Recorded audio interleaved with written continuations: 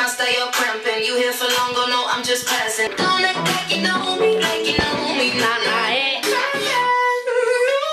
Shimmy, shimmy, yeah, shimmy, yeah, shimmy, yeah. Ser ut som jeg skal filme noen pornofilmer nå. Har du ikke jævlig white trash med sånn home-bokstaver? Jeg som har så mye pynt, har så mye annet å velge mellom, liksom. Så må det være home. Get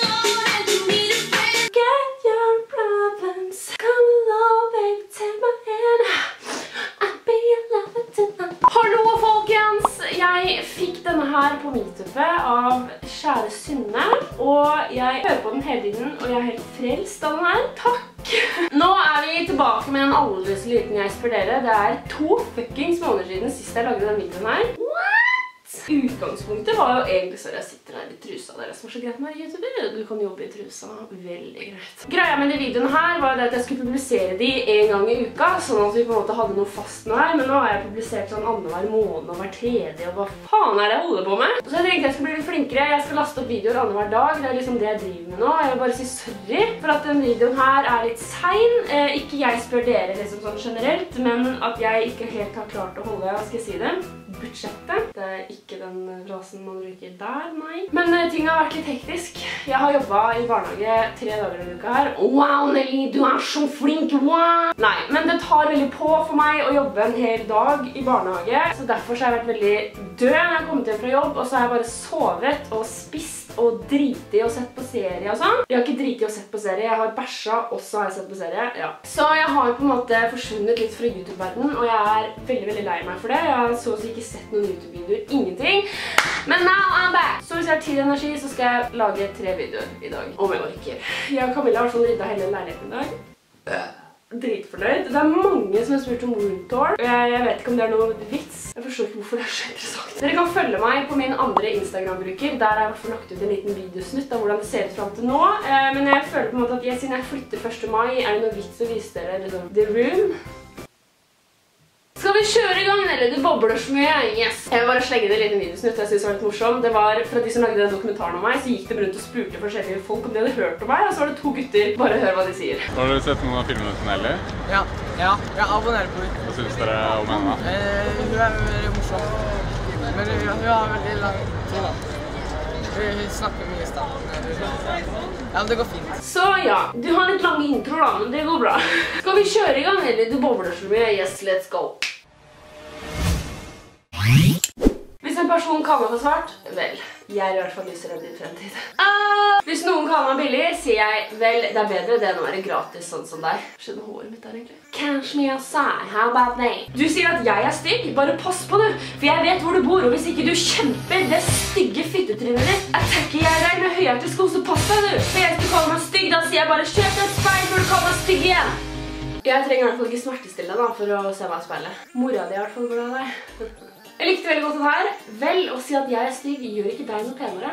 Så søtt at du kom med usikkerheten din til meg, da. Jeg er liten, og folk kaller meg liten, og da sier jeg bare vel. Ugress vokser fortere enn blomster. Alle har rett til å være dumme en gang iblant, men jeg synes at du misbruker den makta litt vel, litt, litt, litt vel mye. Det er for det meste jeg som jobber med eget utseende. Oi, ser man det? Enda en person som dytter usikkerhetene sine ned på andre for å føle seg bedre. Ja, veldig greit. Du er blå, jeg er rå, du står på tå, rekker ikke opp til rå. Moren og faren din skal aldri møtes. Ok. Jeg er feit. Du er stygg, men jeg kan slake meg. Å ja, jeg trodde du snakket om rumpa di, for alt som kommer ut er visst litt dretende, ja. Tror du ikke du skal si noe? Guttene løper i hvert fall ikke fra meg, skrikende med ødelagt syn og hodebryne fra den jævla irriterende stemmen din.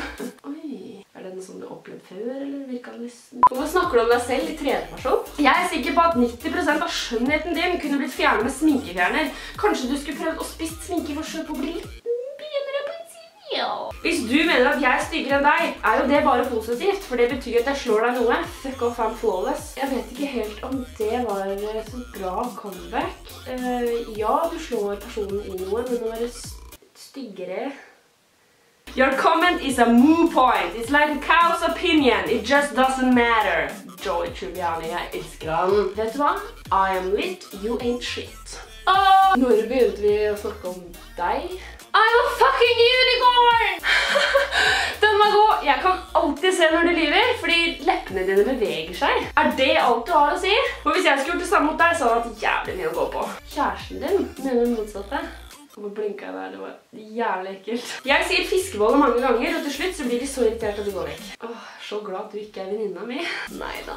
Mellom meg og mamma så er jeg faktisk på førsteplass på pennesskalaen. Så. Jeg sto bakerst i køen når utseendet ble delt ut. Det var videoen, folkens. Jeg håper virkelig at dere likte den. Jeg beklager veldig mye for at disse videoene her blir veldig korte. Men hvis jeg skal lage en veldig bra video med bra spørsmål eller svar, så blir videoene veldig korte fordi at dere suger. Nei. Men jeg gidder ikke bare ta med kommentarer bare for ta med kommentarer. Jeg vil at det skal være liksom the lit of the lit. Men det er bare en ting jeg veldig lyst til å si til dere. Og det er at for det første så er det jævlig mange av dere som suger på comebacks. Altså sikkert 50% av comebackene var sånn Jeg er ikke et speil, eller Har du sett deg selv i speil, eller Er jeg stygg, så er du stygg, eller jeg sier det til mamma. For det første, hvis jeg ikke kommer med comebacks, lær dere å komme med comebacks. Og for det andre, drit i det, sånn som den ene jeg tok med. Ok. Altså, hvis dere kommer med comebacks til personer som kommer med stygge ting, stygge uttalelser, drit i å svare de. Hvis de har lyst til å bruke sin tid på å være negativ mot andre mennesker, hvis de føler seg bedre av det, la dem gjøre det. Snu ryggen til å gå din vei. Jeg på ungdomsskolen var veldig sånn som skulle tenke ut comebacks, så jeg skulle alltid være den som hadde kjappe kommentarer tilbake og sånn, og jeg var så stolt av det, fordi jeg visste alltid hvordan jeg skulle forsvare meg selv og så videre. Men det jeg har lært en dag i dag, er bare å ignorere den skitten som kommer til meg. Ja, det føles dritt, og ja, du vil vise at du kan være dritt tilbake, men både du og de som er slemme, lærer noe av at bare hold kjeften din, så gidder de ikke mer, fordi de synes det er gøy å mobbe eller være slem med deg fordi at du suger på å komme med comebacks tilbake. Skjønner du hva jeg mener? Så yes! Det var dagens uh, lærdom fra Nellys hjørne her inne på soverommet. Jeg håper virkelig at dere likte videoen. Til neste runde så har jeg tatt inspirasjon fra Jacks Films, eh, og hans eh, spørsmål da var, jeg vet ikke, han sa ikke spørsmålet, men greia er at han sier sånn Ok, Google, how to make sweet lovin' to my cousin. Altså, dere skal komme med... Altså, jeg sier til dere, ok, dere skal fylle ut OK, Google, blank. Altså, på blank så skal dere komme med en ting som dere kan si, eller som dere har funnet på Google, eller som dere... En sånn crazy greie dere spør om på Google. Skjønner du hva jeg mener? Som for eksempel... Ok Google, does Canada exist? Ok Google, Skjønner dere hva jeg mener? Altså sånne fucka greier da. Som dere enten har funnet, eller som dere kjenner noen som har spurt om, og så videre, og så videre, og så videre. Jeg håper dere likte videoen. Hvis dere gjorde det, husk å gi den en tommel opp, og så snakkes vi i neste video. Ha det!